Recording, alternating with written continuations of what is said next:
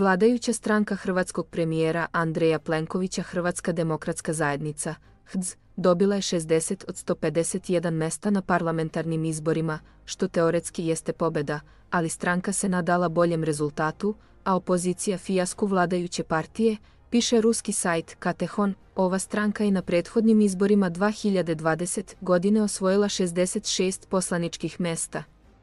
Podrška HDZ opala. Ali, povećano je učešće građana u političkom životu Hrvatske.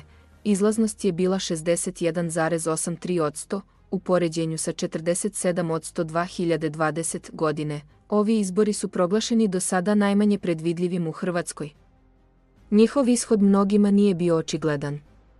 Za premijera je predložen sadašnji predsjednik zemlje Zoran Milanović, koji je odredio i datum održavanja izbora, 17. aprila. Ustavni sud je saopštio da Milanović prvo mora da se povuče sa mesta predsjednika kako bi mogao da se kandiduje za parlament.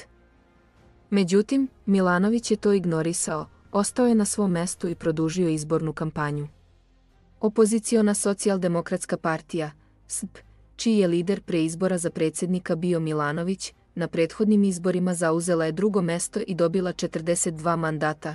Najveća stopa inflacije u eurozoni, nedostatak radne snage, ilegalna migracija, korupcija, liderst Peđa Grbin priznao je da se ta stranka nadala boljem rezultatu.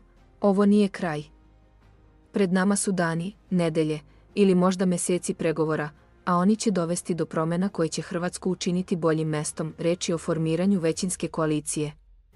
Sdriht nastojaće da sklapaju koalicije sa drugim strankama.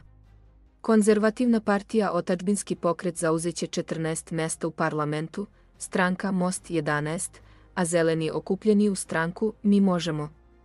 10. Istarska demokratska zajednica Nezavisna platforma Sever i nezavisna liberalna stranka Fokus dobili su nekoliko mandata. Srpska, italijanska i mađarska stranka mogu da računaju na nekoliko od ukupno osam mandata koji su dodeljeni nacionalnim manjinama. Stranka aktuelnog premijera Plenkovića očekivala je da će dobiti većinu mandata.